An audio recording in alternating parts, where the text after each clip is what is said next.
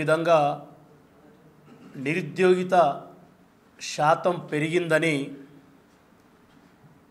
International labour organisation మరియు institute of human development అనే రెండు సంస్థలు మొన్న తమ నివేదికలలో భారత ప్రజలకు ప్రపంచానికి తెలియజేసినవి.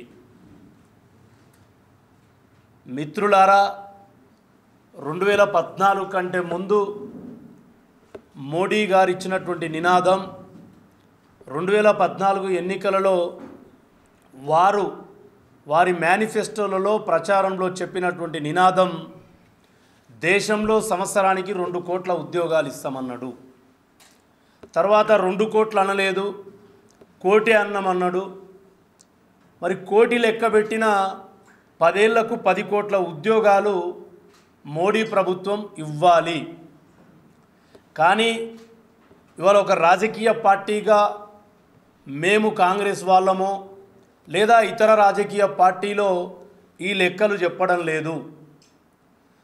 ఐఎల్ఓ అంటే ఇంటర్నేషనల్ లేబర్ ఆర్గనైజేషన్. పంతొమ్మిది వందల పంతొమ్మిదిలో భారతదేశం కూడా ఒక వ్యవస్థాపక దేశంగా స్థాపించబడ్డటువంటి ఆర్గనైజేషన్.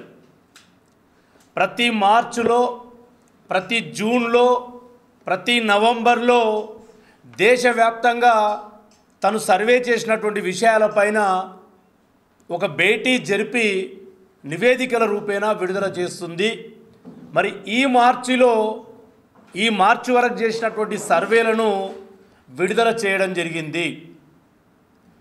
దీని ప్రకారం ఎనభై మూడు శాతం గ్రామీణ ప్రాంతాల్లో ఉన్నటువంటి యువకులు నిరుద్యోగులుగా మిగిలిపోయినరు.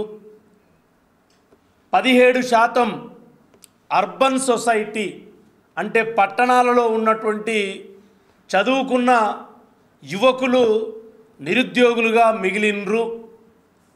వెరసి భారతదేశం పంతొమ్మిది వందల డెబ్భై రెండులో మీకు అంతా గుర్తుంటుంది. ఆకలి రాజ్యం అని కమలాసన్ సినిమా ఒకటి. మీరు ఇప్పుడు కొట్టినా వస్తుంది.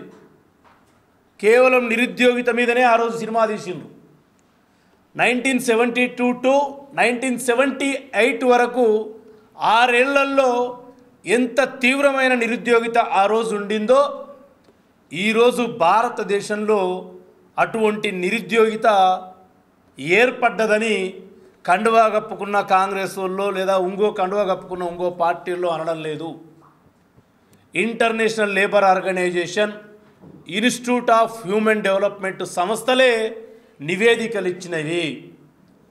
నేను అందుకే అడుగుతా ఉన్న పాలమూరు కాంగ్రెస్ పార్టీ తరపున అమ్మ అరుణమ్మ మీరు ఎంపీగా పోటీ చేసి నన్ను చూసి కాదు మోడీ పాలనను చూసి ఓటేయమని అడుగుతా ఉన్నారు కదా మరి మోడీ పాలన మీద ఐఎల్ఓ ఐహెచ్డి సంస్థలు ఇచ్చిన నివేదిక మీద చర్చ జరుపుదామా మీరు సిద్ధమా అని నేను అరుణమ్మ గారికి సవాల్ విసురుతున్నా. వేరే విషయాలు వద్దు నీటిదార నీటిపారుదల ప్రాజెక్టులు ఇండ్లు రోడ్లు ఇదొద్దుగా కేవలం నిరుద్యోగిత మీద రెండు వేల పద్నాలుగు మీ మేనిఫెస్టో పట్టుకురండి. రెండు వేల పంతొమ్మిది మీ మేనిఫెస్టో పట్టుకురండి. మీ మోడీ సభలలో మాట్లాడిన వీడియో క్లిప్పింగులు పట్టుకొద్దాం. గడియారం చౌరస్తలో కూర్చుందామా? ఎక్కడ కూర్చుందామా అరుణమ్మ? మీరే తేదీ చెప్పండి. మీరే సమయం చెప్పండి. నిరుద్యోగులకు సంబంధించిన అంశాలన్నీ తీసుకొచ్చి మీతో చర్చకు కాంగ్రెస్ పార్టీ సిద్ధంగా ఉందని అరుణమ్మ గారికి నేను సవాలు విసురుతా ఉన్నా. మేము అనేక మార్లు చెప్పినాం. కాంగ్రెస్ పార్టీ ఉన్నప్పుడు జాతీయ స్థాయిలో ఉన్నటువంటి ప్రాజెక్టులన్నింటినీ కూడా కాపాడుకున్నది పార్టీ. కేంద్ర ప్రభుత్వ సంస్థలను కాపాడుకుని దాంట్లో ఉద్యోగాలను స్థిరీకరించి కొత్త ఉద్యోగాలను సృష్టించి ఉపాధి కల్పన చేసింది కాంగ్రెస్ పార్టీ. ఇవాళ మోడీ గారు వచ్చిన తర్వాత భారత్ సంచార్ నిగమ్ లిమిటెడ్ అని బిఎస్ఎన్ఎల్కు పేరు పెట్టి మేము సంస్థను నిలబెడితే మోడీ గారు ఆ పేరును తుడిచేసిండు సంస్థను తుడిచేసిండు. అరవై వేల మంది ఇవాళ రోడ్డు మీద పడ్డరు ఒక్క తెలంగాణ రాష్ట్రంలోనే. ఎల్ఐసిని ప్రైవేట్ పరం చేస్తా అన్నాడు. భయపడి అలా ఎల్ఐసిలో డిపాజిట్లు చేయట్లేదు ఎల్ఐసిలో పాలసీలు చేయట్లేదు. తద్వారా ఎల్ఐసి క్రమక్రమంగా ఎన్నో వేల లక్షల కోట్ల డిపాజిట్లు ఆస్తులున్న ఎల్ఐసి ఈరోజు క్షీణించిపోవడానికి మోడీ కారణము. డిఫెన్స్ రక్షణ దళాన్ని కూడా ప్రైవేటు అంబానీ ఆదానులకు అప్పచెప్పిండు ఏరోస్పేస్ అంతరిక్షాన్ని కూడా ప్రైవేట్కు టెండర్లు ఇచ్చినటువంటి మోడీ గారు ఈరోజు ఉద్యోగాలను అన్నింటినీ కూడా సృష్టించడం మాట దేవుడెరుగు.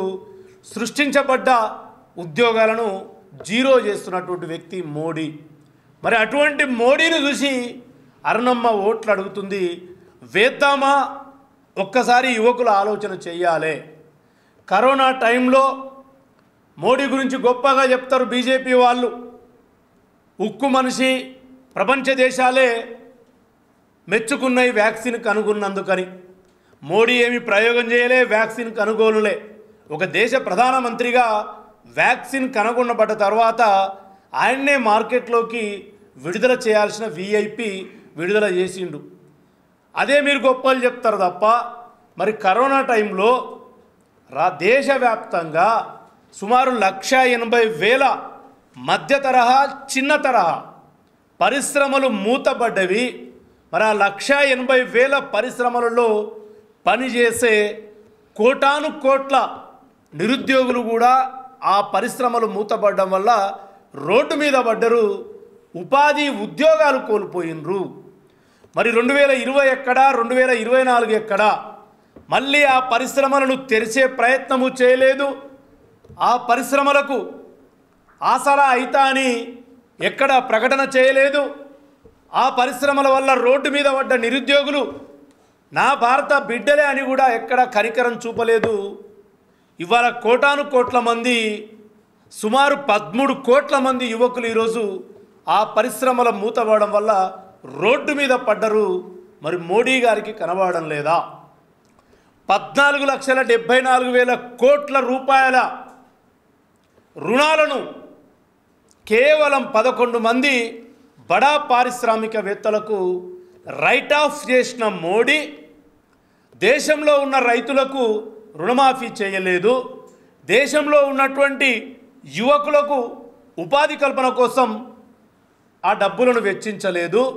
నేను ఒక్కటే అడుగుతా ఉన్నా. పద్నాలుగు లక్షల డెబ్బై నాలుగు వేల కోట్ల రూపాయలను గనుక కోవిడ్ సమయంలో మూతపడ్డ పరిశ్రమలకు గనుక సబ్సిడీ కిందనో ప్రోత్సాహం కిందనో లేదా లోను రూపేనో అంటే స్వల్ప వడ్డీకి అప్పు రూపేనో ఇచ్చి మళ్ళీ ఆ పరిశ్రమలను కనుక తెరిపించి ఉంటే ఆ పరిశ్రమలలో ఉద్యోగాలు కోల్పోయిన సుమారు పదమూడు కోట్ల మంది యువతకు ఉద్యోగాలు వచ్చేవి. ఆ పరిశ్రమలలో ఉత్పాదకత ఏదైనా ఉత్పాదకత జరిగితే ఉత్పాదకత కోసం అవసరమయ్యే ముడి సరుకు విదేశాల నుంచి మనం ఇంపోర్ట్ చేసుకునే అవకాశం ఉంటుండే. ఆ పరిశ్రమల్లో తయారైనటువంటి ఉత్పాదకతను వేరే దేశాలకు ఎక్స్పోర్ట్ చేసే అవకాశం ఉంటుండే. ఇంపోర్ట్ వల్ల ఎక్స్పోర్ట్ వల్ల దేశానికి ట్యాక్స్ వస్తుండే. ఆ పదమూడు కోట్ల మంది యువకులకు ఉద్యోగాలు వస్తే నెల జీతం తీసుకొని ఉద్యోగస్తులు కొనుగోలు చేస్తే దేశంలో వివిధ రకాల కుటుంబ అవసరాల రీత్యా కొనుగోలు చేస్తే జీడిపి పెరుగుతుండే. దేశ వృద్ధిలో వాళ్ళ భాగస్వామ్యం ఉంటుండే. ద్రవ్య చలామణి దేశమంతా వ్యాప్తి చెంది దేశం ఇంకా ముందుకు వెళుతుండే. మరి దీని మీద మోడీ దృష్టి పెట్టలేదు. ఇది చూసి మోడీకి ఓట్లేయాలా? ఇంత మోడీ చేస్తున్న రెండు వేల పంతొమ్మిదిలో కాంగ్రెస్ను వీడి బీజేపీలో చేరిన అరుణమ్మ గారు మీరు జైన్ అయిన రెండు వేల పంతొమ్మిది తర్వాతనే పద్నాలుగు లక్షల డెబ్బై నాలుగు వేల కోట్ల బడా పారిశ్రామికవేత్తలకు రైట్ ఆఫ్ ఇచ్చాడు మోడీ. మరి మీరు ఎక్కడా మాట్లాడలేదు? పదమూడు కోట్ల మంది నిరుద్యోగులు లక్ష ఎనభై వేల కంపెనీలు మూతపడడం వల్ల రోడ్డు మీద పడ్డారు. రెండు వేల ఇరవై ఇరవై ఒకటిలో అప్పుడు మీరు బీజేపీలో ఉన్నారు. ఒక్క మాట మాట్లాడలేదు. జాతీయ ఉపాధ్యక్షురాలి హోదాలో ఈ రాష్ట్రంలో ఉన్నటువంటి కేంద్ర ప్రభుత్వ సంస్థలన్నీ బిఎస్ఎన్ఎల్ కానీ ఎల్ఐసి కానీ డిఫెన్స్లు కానీ డిఆర్డిఎల్ కానీ ప్రైవేట్ పరం చేస్తుంటే ఓ పడలేదు చివరాఖరికి మహబూబ్ నగర్ పట్టణంలో ఆమె ఉండే గద్వాల పట్టణంలో ఈ పార్లమెంటు కాన్స్టిట్యున్సీలో ఉన్నటువంటి పోస్ట్ ఆఫీసుల్లో కూడా పదేళ్ళుగా కొత్త వాళ్ళు నియామకం అవుతలేరు రైల్వే స్టేషన్లలో పదేళ్ళుగా కొత్త వాళ్ళు నియామకం అవుతలేరు ఆర్మీలో కొత్త వాళ్ళు నియామకం అవుతలేరు నేవీలో కొత్త వాళ్ళు నియామకం అవుతలేరు నేషనల్ డిఫెన్స్ అకాడమీ జాతీయ రక్షణ శిక్షణా సంస్థలో కూడా కొత్త రిక్రూట్మెంట్ జరగడం లేదు. ఎప్పుడు కూడా అరణమ్మ గారు మాట్లాడలేదు. కేవలం అరణమ్మ గారు అడిగేది ఏంటంటే మోడీ ముఖం చూసి నా కోట్లేమని అడుగుతుంది తప్ప ఈ ఐదేళ్ళలో లేదా అంతకుముందు ఐదేళ్ళలో మొత్తం కలిపి పది సంవత్సరాలలో మోడీ గారు వైఫల్యం చెందిన ఈ అంశాలు కానీ లేదా మోడీ గారి అనాలోచిత నిర్ణయాల వల్ల నిర్వీర్యమైపోయిన ఈ పరిశ్రమలు ఆ పరిశ్రమల్లో పనిచేసే యువకులు ఉద్యోగాలు కోల్పోయిన వారి గురించి కానీ పద్నాలుగు లక్షల డెబ్బై నాలుగు వేల కోట్ల రూపాయల దేశ సొమ్మును కొంతమందికి ఇవ్వడం వల్ల దేశంలో వచ్చే దవ్రే లోటు గురించి కానీ అరుణమ్మ గారు ఎక్కడా మాట్లాడలేదు. మరి అందుకే నేను అరుణమ్మ గారికి నేను సవాలు విసురుతా ఉన్నా. రెండు వేల పంతొమ్మిది వరకు వదిలిపెట్టేసాయి. అప్పటికి మీరు కాంగ్రెస్లోనే ఉన్నారు. రెండు వేల పంతొమ్మిది పార్లమెంట్ ఎన్నికలకు ముందు మీరు కాంగ్రెస్లో నుంచి భారతీయ జనతా పార్టీలకు పోయిన రోజు నుంచి ఈరోజు నేను ప్రెస్ మీట్ పెట్టే తేదీ వరకు భారత ప్రభుత్వ బీజేపీ ప్రభుత్వ వైఫల్యాలు ఆ ప్రభుత్వం నుంచి జరిగిన నష్టాలు ఈ జిల్లాకు జరిగిన నష్టం మొత్తం కూడా నేను పేపర్ మీద తీసుకొస్తా గడియారం చివరస్తల కూర్చుందామా అని నేను వారికి సవాలు విసురుతా ఉన్నా. ఇవాళ అరుణమ్మ గారు చెప్తుంది నారాయణపేట పోతే నా పుట్టినిల్లు మక్తలు పోతే నా పుట్టినిల్లు మహబూబ్ నగర్ వస్తే నా పుట్టినిల్లు అని. నువ్వు మెట్టినిల్లు గద్వాల. గద్వాలలో పదహారు ఫిబ్రవరి రెండు వేల ఇరవై రెండు రోజు బండి సంజయ్ గారు రెండో దశనో మూడవ దశనో పాదయాత్ర చేస్తుంటే జోగులాంబ నుంచి ఆరతులు పట్టుకొని నీ జిల్లాలో నువ్వు దిప్పుతుంటే మీ నడిగడ్డకు ఆర్డిఎస్ తుమ్మిళ్ళకు నీళ్ళు రాకుండా ఎత్తు పెంచుతున్న కర్ణాటకలో ఉన్న అప్పర్ భద్రకు ఐదు వేల మూడు వందల కోట్ల రూపాయలు ఇచ్చి మోడీ ప్రభుత్వం జాతీయ హోదా ఇచ్చింది అర్ణమ్మ. కర్ణాటకలో ఆల్రెడీ ఒక జాతీయ హోదా ప్రాజెక్టు ఉండగానే మరొక జాతీయ హోదా ప్రాజెక్ట్ ఇచ్చింది అర్ణమ్మ. గడ్కరీ గారు రెండు వేల ఇరవైలో పార్లమెంటులో అడిగితే ఇక జాతీయ ప్రాజెక్టులు ఇవ్వము దేశంలో అని చెప్పిన మీ బీజేపీ ప్రభుత్వమే గడ్కరీ అడిగిన రెండేళ్ళకు అప్పర్ భద్రకు ఐదు వేల మూడు వందల కోట్లు ఇచ్చి జాతీయ హోదా ఇచ్చింది అర్ణమ్మ. దానివల్ల నేను అడిగడ్డలో ఎనభై మూడు వేల ఎకరాలకు నీరు అందకుండా పోయింది అర్ణమ్మ. కనీసం పుట్టినిల్లుకు న్యాయం చేయకుంటే పోతివి మెట్టినింటి కోసమైనా మాట్లాడావా? ఒక్కసారి అర్ణమ్మ గారు ఆలోచన చేయాలి. మేము నేను ముఖ్యంగా రెండు వేల పద్నాలుగులో ఒక టీచర్స్ యూనియన్ ప్రెసిడెంట్గా ఆగస్టు పదమూడు ఆగస్టు పద్నాలుగు ఆగస్టు పదిహేను రెండు వేల పద్నాలుగులో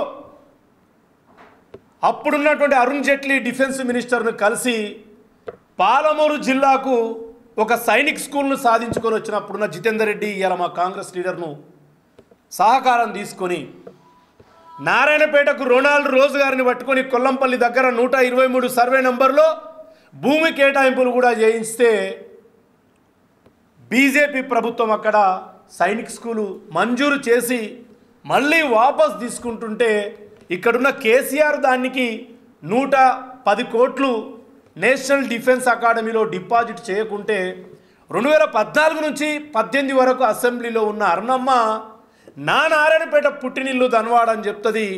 మరి నా నారాయణపేటకు వచ్చిన సైనిక్ స్కూల్కు నువ్వు నూట పది కోట్లు ఎందుకు కడతలేవని కేసీఆర్ని అడగలేదు. ఆగండి అయ్యా నేను కట్టిస్తా అని వాపస్ తీసుకుపోతున్న బీజేపీని అడగలేదు. ఇవాళ నారాయణపేట నా మెట్టిని పుట్టినిల్లని గర్వంగా చెప్తుంది. మరి గర్వపడే విషయాలు ఏమైనా చేసినావా అని కూడా నేను వారిని అడుగుతా ఉన్నా. కాబట్టి పాలమూరు యువత ఆలోచన చేయాలి. మోడీ గారంటే భారత ప్రధానమంత్రిగా మనం గౌరవిద్దాం. కానీ మోడీ గారి అనాలోచిత నిర్ణయాల వల్ల నిరంకుశ నిర్ణయాల వల్ల బడా పారిశ్రామిక వేత్తల అనుకూల నిర్ణయాల వల్ల మీ భవిష్యత్తు మొత్తం కూడా నాశనం అయిపోయింది యువత. మీరు ఒక్కసారి ఆలోచన చేయండి. అర్ణమ్మలు చెప్పే మాటలో వచ్చిపోయే కిషన్ రెడ్డిలు చెప్పే మాటలో మోడీని చూసి ఏమని అంటున్నారు? మరి మోడీని చూసి ఏ రకంగా ఓట్లేయాలో విఘ్నులు చదువుకొని ఉద్యోగాలు లేక విలవిల్లాడిపోతున్న నా పాలమూరు యువత ఆలోచన చేయాల్సిందిగా నేను కోరుతా ఉన్నా. ఈ ప్రెస్ మీట్లో నేను ఇప్పటిదాకా మాట్లాడిన ప్రతి అంశం పైన పార్లమెంటు కాన్స్టిట్యున్సీలో కానీ ఉమ్మడి మహబూబ్ నగర్ జిల్లాలో కానీ అరుణమ్మ కానీ అరుణమ్మ చెప్తే వచ్చే ఏ భారతీయ జనతా పార్టీ నాయకుడితోనైనా ఆధారాలతో సహా రుజువు చేయడానికి కాంగ్రెస్ పార్టీ అధికార ప్రతినిధిగా నేను సిద్ధంగా ఉన్నానని కూడా పాలమూరు యువత తరఫున అరుణమ్మ గారికి నేను ఛాలెంజ్ విసురుతా ఉన్నా. థ్యాంక్ యూ కిషన్ రెడ్డి గారికి కిషన్ రెడ్డి గారికి పరిపక్వత ఉందనుకొని భారతీయ జనతా పార్టీ అధ్యక్షుడిగా మార్చిండ్రు. ఆయన పరిపక్వతనే కాదు ఒక అజ్ఞానిగా మాట్లాడుతున్నాడు.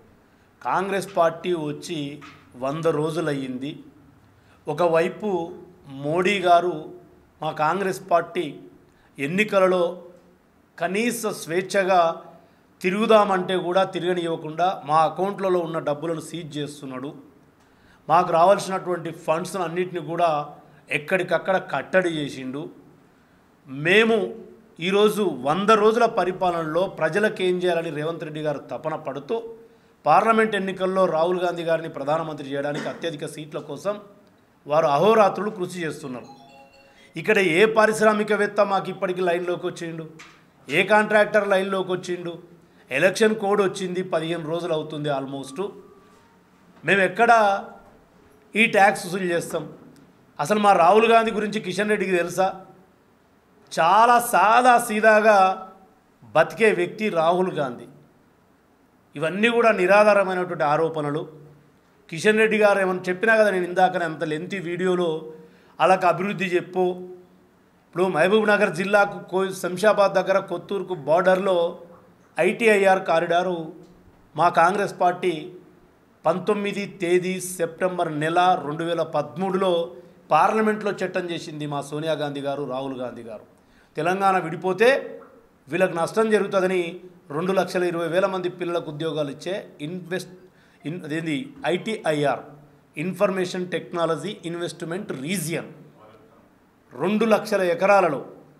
ఎంత డెవలప్ అవుతుండే శంషాబాద్ కాడ ఐటీఐఆర్ పడితే పాలమూరు బిడ్డలకు అందరికి ఉద్యోగాలు వస్తుండే. దాని గురించి మాట్లాడు.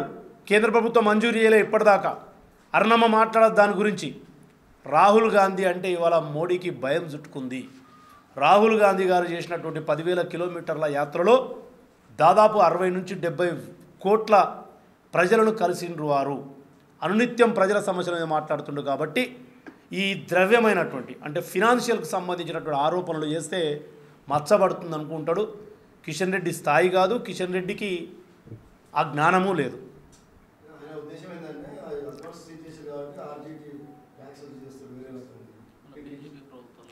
ఇప్పుడు ఇప్పుడు శేఖర్ నేను ఏమంటున్నానంటే అక్కడ సీజ్ చేసినని ఇక్కడ ఇక్కడ సీజ్ చేసినని అక్కడ కాదు.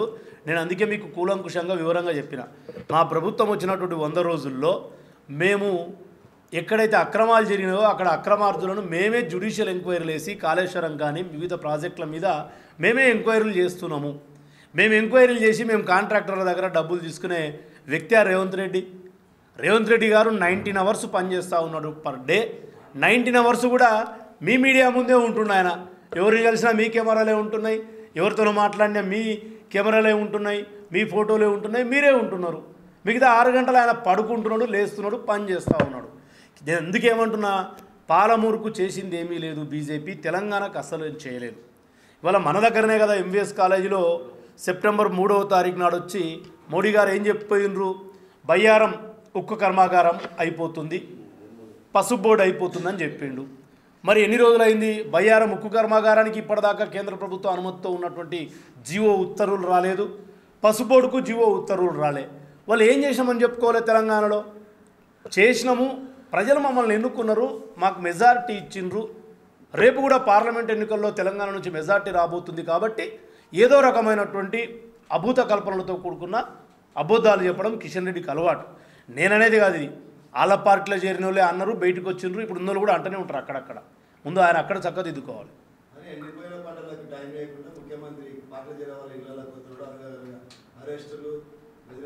కాలం గడుపుతున్నాడు ఎవరిని కూడా అరెస్ట్ చేయలేదు ఇప్పటిదాకా. చట్టం అంటే ఫోన్ ట్యాపింగ్ సంబంధించింది కొంత. వేరే రకాలైనటువంటి కొన్ని అరెస్టులు అది ఎక్కడ ఎవరు కవిత గారికి సంబంధించినటువంటి ఈడీ కేంద్ర ప్రభుత్వ సంస్థలు చేస్తున్నటువంటి అరెస్టులు.